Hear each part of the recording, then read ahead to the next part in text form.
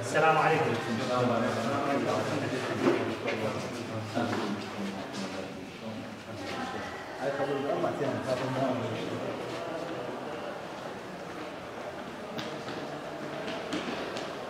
يعني لا عندنا الساعة 6 ولا عندنا ستارة ان شاء الله نواقص كثيرة محتاجين دعم. محتاجين دعم.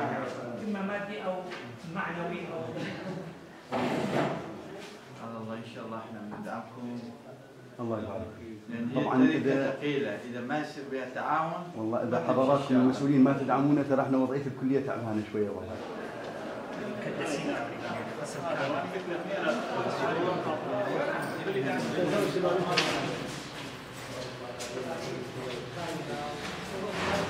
نعم هيكل يعني خلينا نقول استفراغ عندنا نقول جسور الجسور ما فيها شيء هذا عبارة عن قواعد هي تماما مخبط بس شايلة نفسها بس.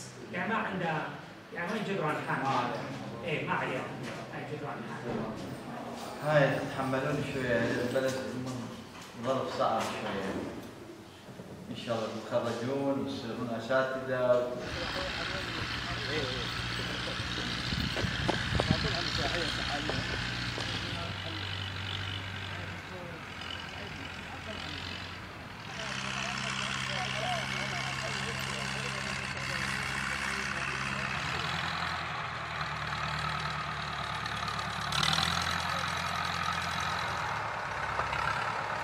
مستمرين إحنا يعني حتى حتى حضور البيت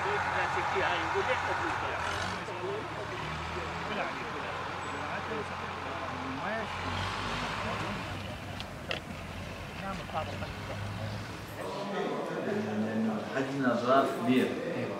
مو تقول تاهيل غرفة أو صالة أو جناح مثلا. بس الفضائيه يعني اشخاص صلاحيته عنده صلاحية. 100 مليون مثلا؟ اليوم قمنا بزيارة تفقدية إلى كلية الزراعة كلية التقنية الزراعية في محافظة نينوى للاطلاع إلى حجم الأضرار الذي خلفها تنظيمات الداعش الإرهابية أثناء احتلال آه، محافظة نينوى. حيث لاحظنا هناك أضرار قد لحقت في هذه ال- الكلية أضرار جسيمة قد هناك بعض المختبرات وبعض الأبنية قد دمر بالكامل وهناك بعض ال- المرافق أو ال- الأقسام قد لحقت بها أضرار آه، خفيفة. لذا نطالب الحكومة المركزية والحكومة المحلية والمنظمات المجتمع الدولي والمنظمات الإنسانية بالتوجه إلى كلية التقنية الزراعية لتقديم ما يمكن تقديمه من المساعدات الخدمية للنهوض بواقع التعليمي في محافظة نينوى ولدعم أبنائنا الطلاب أو الط- الطلاب والطالبات الذين آه، يمارسون أعمالهم الدراسية في هذه الكلية. طبعا هاي الكلية لها أهمية كبيرة في في في تقديم لتلقي العلم. هناك ورش تطبيقية أعمال تطبيقية ورش وهذه الكلية تشمل عدة أقسام قسم البيطرة وقسم الزراعة والزراعة والنباتات ما شابه إلى ذلك عدة أقسام.